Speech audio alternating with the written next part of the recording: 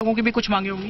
देखो क्षेत्र की लोगों की आ, देखो राजस्थान की समस्या लगभग कॉमन है। हम्म। और क्षेत्र में हम घूमे हैं। तो क्षेत्र में जिस प्रकार की लोगों की बातें आई हैं तो हम वैसे दस साल से वैसे फ़ील्ड में हैं। तो हम भली बातें पता है और हमने पहले भी प्रयास किया है तो आगे हम प्रयास करेंगे इसको जल्दी हल करेंगे। आईजीएनपी में टेल तक पानी पहुंचाएँगे?